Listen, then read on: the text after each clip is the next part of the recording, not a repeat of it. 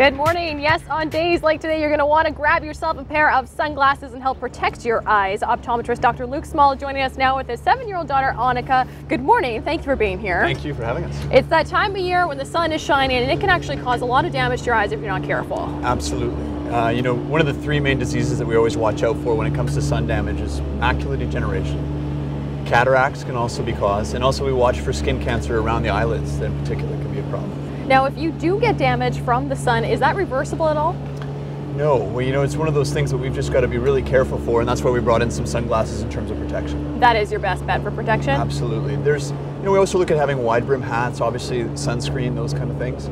Even in regular glasses, a good coating now comes with an extra UV coat, so you can oh. have a oh. clear pair of sunglasses and still have UV protection. Awesome. Yep. Okay, so when it comes to sunglasses, there are so many on the market. Absolutely. What is it that you want to look for specifically? So a couple things that I look for, polarization. So you'll talk about polarized lenses, and that almost acts like a Venetian blind. So any light that comes in horizontally, off the pavement, off the snow, off water, it just cuts it right out. Oh. I always feel through a polarized lens I see better. It doesn't provide any better protection, but it cuts out that glare.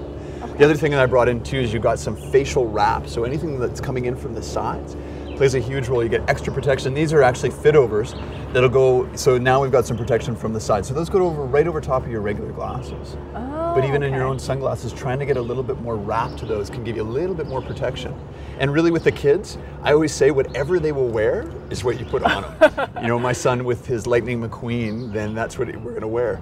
Annika, which is great, she's got transition lenses so those lenses okay. automatically change outside and they present 100% UV. And a lot of parents don't realize that you can do that in kids' sunglasses, regular glasses. Right, because yeah. Anna wear, Annika wears glasses all the time. Full time, correct. So it'd be really difficult to find a pair of sunglasses that she's going to want to put on top and go back and swap forth. them out. Something's going to get lost and yep. you don't want to lose the actual glasses that That's she needs. Right. So you can get a polarized lens in any children's Well, this lens? is called actually transition lenses. Oh, so transition. this is just, it gets darker when it, she goes outside. As soon as there's UV light, it gets darker and she doesn't have to think about it.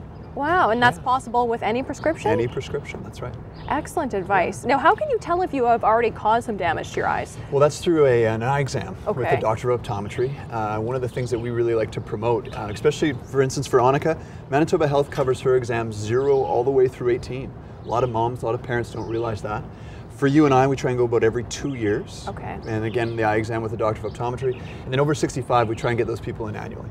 Every year. Every year, yeah. Any other advice for people this summer when it comes to being outside? I think mainly just remember to get your sunglasses on. That's a huge thing. We see a lot, as I say, with a lot of these diseases, people aren't aware that that's going to be a problem.